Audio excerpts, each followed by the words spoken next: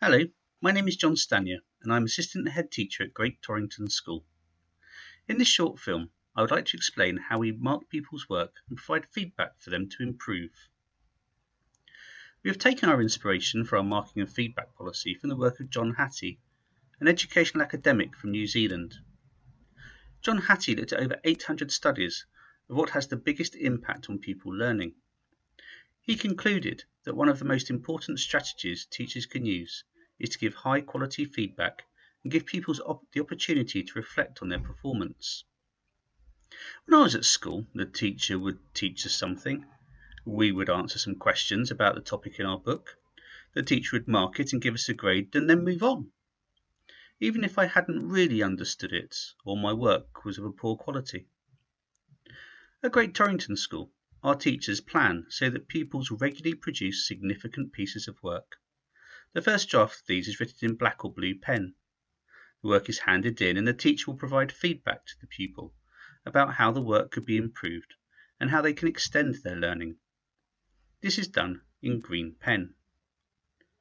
The teacher will also highlight liter literacy errors, for example any punctuation errors with a circle, and write a P in the margin. If there are spelling errors, then the symbol is SP. The teacher will not give the correct spelling.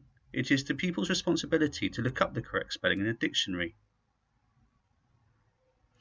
V identifies where the pupil could improve their vocabulary. Other literacy codes are C to identify where a connective is needed and O when a more effective opening is needed.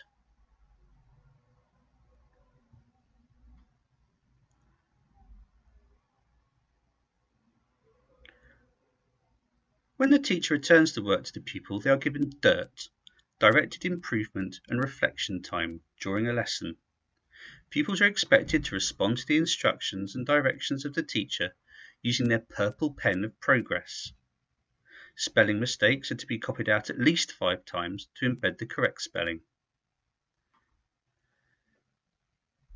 The pupil needs to act on the feedback and improve their work, expanding their learning.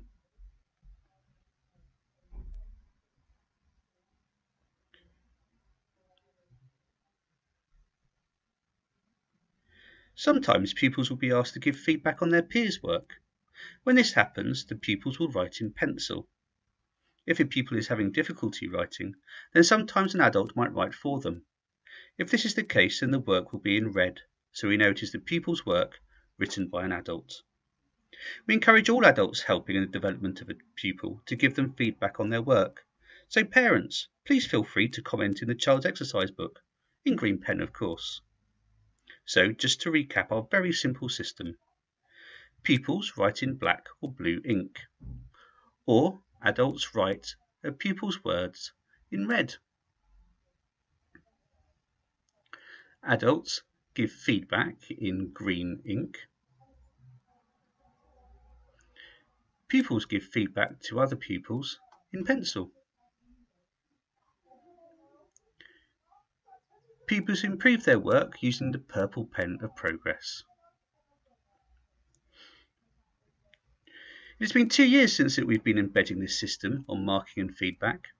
Because pupils revisit their work, redraft and improve it, their learning becomes more deeply embedded. Of course, if more learning is being embedded in the brain, then the pupils at Great Torrington School will improve their academic progress. And, as we have seen in our outstanding exam results in recent years, the more progress our pupils make, the better their exam results. Thank you for your time and look at the school's YouTube account for other videos about how we're improving teaching learning here at Great Torrington School.